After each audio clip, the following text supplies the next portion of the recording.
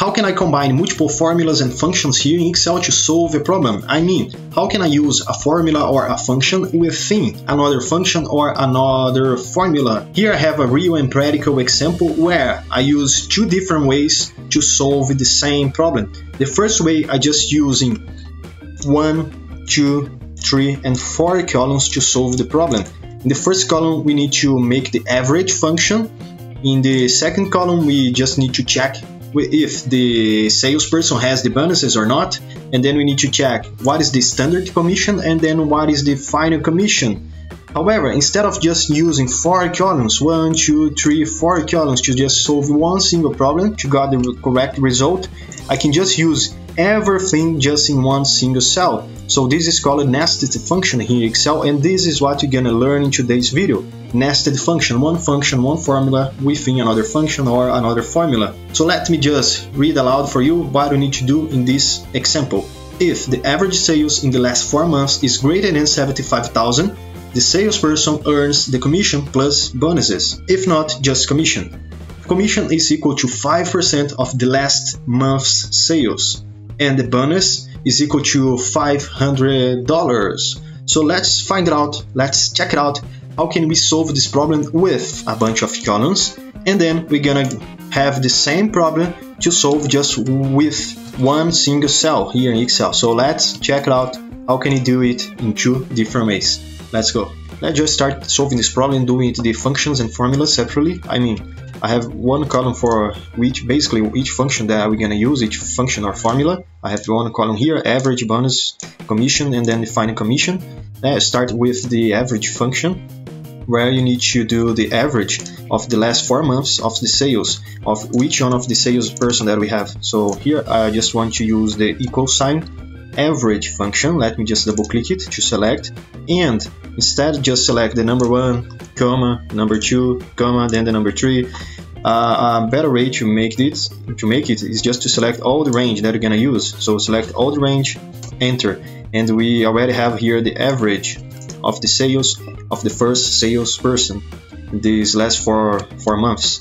Let me just double click it here in the corner of the cell to make sure all the rows contain the same formula, the same function. Double click it, one one, two, oh, okay. Now with the average function done, we can move on to the bonus column. And here I can just use, for example, a function or a formula to check it out if the average is greater than 75,000, for example. However, but why should I use a formula or a function? Because imagine if you need to just check it manually row by row, it can take a long time, so maybe it's not a good idea. A better way to make the, the task, to automate the task, just using a formula or a function here in Excel. We can use to make the auto automatically task just using a if function or let's say just a logical operator. For example, equal sign, I need to check if the average, that is the first average that I have here is the F2 cell, okay, so I want to check if this average is greater than 75 75,000. The sign, the symbol that I use is this greater than sign that I have in my keyboard, okay? So this is a logical operator. I can use this, this is a formula in Excel, or I can use a function, like for example, the if function, okay? Let me just press enter, and here I get a result of true. Why? these results appear for me because the average here in this case is, yeah, it's greater than 75,000. This is why I get, true. However, if we just check manually, in this second row here, I have 71,000 and we know that 71,000 is less than 75,000, okay? So if I just double click here in the corner of the cell, I can see one, two, okay, that I got uh, false in the result. And yeah, it's correct. And here in the commission column, we're just gonna do the standard commission. I mean, I'm just gonna take the last month of sales, that is the April month, and then I'm gonna multiply it by 0.05, for example, that is 5%. I just need 5% of this value that I have here. So let me just do it, equal sign, and then I'm gonna select the sales of the first sales here in the, in the first row, that is 96,000 I just select the cell and then I'm gonna multiply it. I just use the operator for multiplier the asterisk, okay? So asterisk multiplier by 0.05 that is 5% let me just press enter here and here I have the standard commission without any bonus for example bonuses. So let me just double click it and we're done. The commission is done all these commissions that I have here is without bonuses. However not every commission that I have is gonna get a bonuses. So this is why it's important to have this column in the bonuses because I can check okay the first row is true. So the first commission have bonuses the second row is false so it's mean that the second commission here does not have bonuses so in the final commission the final commission is going to be exactly the same result as the standard commission let's say that way okay however instead of just doing it manually we can move on and do it with the if formula or if function Excel. It's not a formula, it's a function, okay? If function Excel. Equal sign, if, and then I'm gonna double click it, one, two. Now, what, uh, what is my logical test? I need to check if, let's say, if this cell right here is have the true inside it, I can just make it uh, as my logical test. So let's say, if I have a, uh, a true bonuses, so I'm gonna get my commission and add $500. If not, if I had, let's say, a false in the bonuses, I'm just gonna get the commission itself. I will not add anything on it, okay? So let here in the logical test, I want to check if this cell right here is equal to true, for example. Let me just double click it and you can see that the true is not just a, a word here in Excel, it's not just a text, it's actually a function, the true function. So I want to check if this cell here is equal to true. And then I'm gonna double click it in the function true. Double click it, one, two, okay. Now, if the logical test is met, I mean, if this cell here is equal to true, then I'm gonna press comma, and if this value is true, I mean, if the condition met, I'm gonna select here the commission value, and then add in this value $500, comma, and if this logical test that I just made here is not met, does not met, I just gonna use the commission itself. Close parentheses and then I'm gonna press enter. Here I have my final result, my final commission. And in this first row, because the, the salesperson got a bonuses, they increase their commission. So let me just double click here in the corner of the cell, one, two, and we can just check.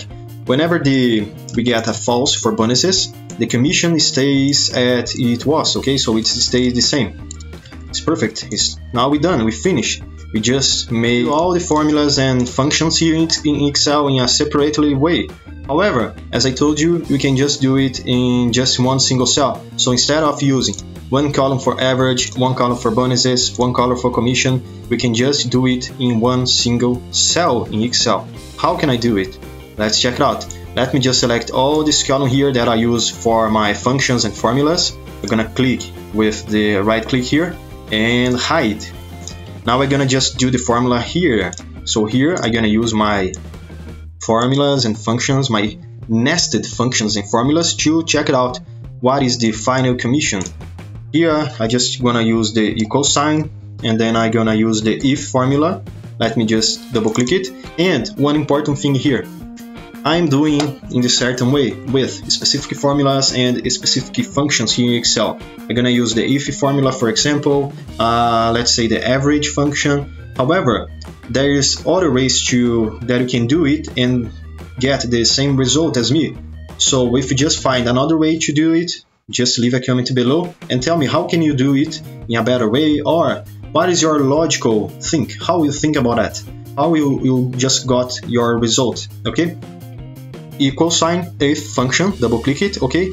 My first logical test, I want to check if the average of the sales of these last four months is greater than 75,000. To make sure this is correct, I'm just gonna use the average function within the if function. So let me just double click here in the average function. Now what is my first number or what is my range that I want to select? The range is all these first values that I have, January, February, March, and April. I'm gonna close parentheses. And then I need to just make a logical test. So I need to check if the average is greater than 75,000. Okay, if it's true, I mean, if this condition, this criteria is met, so I want to type it in. Uh, no, I don't know, want to type in anything. I just need to make another another math here that is, if the value is true, I just need to take the commission and add the bonuses. So to get the commission, I just need to use the last month, the last uh, the value of the sales of the last month. Okay, so let me just select this last cell right here, and then I'm gonna just multiply it by 0.05 because we can just get the commission of 5% of the, the salesperson uh, sold. Okay, so let me just open parentheses here in this in this calculator, close parentheses, and then I'm gonna add so plus sign 500 comma and if this condition here if this criteria that does not met so I need to just insert the value if it's false. And the, value if it's false is equal to the, the last sale that I have here the April.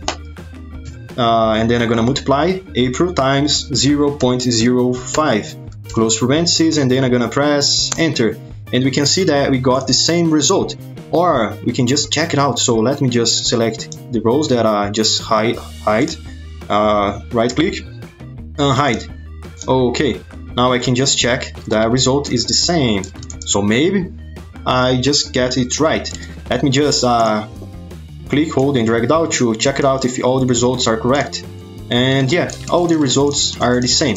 So that way we can just use uh, if function average, average function uh, using uh, some formulas, some logical operators to make all the thing happens in just one single cell, in just within one single cell here in Excel. This is a really good example showing that always that you have a, a difficult task, let's say that way, you not just always need to use a bunch of columns to solve your problem. Maybe if you're just using one single column and just uh, combine many formulas and many functions, you can solve the problem. However, my tip for you is just to try in two different ways. The first one is to add as many columns uh, that you need to solve the problem. I mean, if you have a big problem, you just make it small till you get to the correct result. And then, after you just solve the problem with two, three, and four rows, let's say that way, with a couple of rows to solve the problem here in Excel, you can just try to make the same solution using just one single column, okay? Using nested function Excel, using many formulas within one single formula, one single uh, function in Excel. I hope this video can help you out. If you have any questions, just give your thoughts below, okay? Thank you guys for watching this video and I see you in the next one. As every day has a new video, I see you there.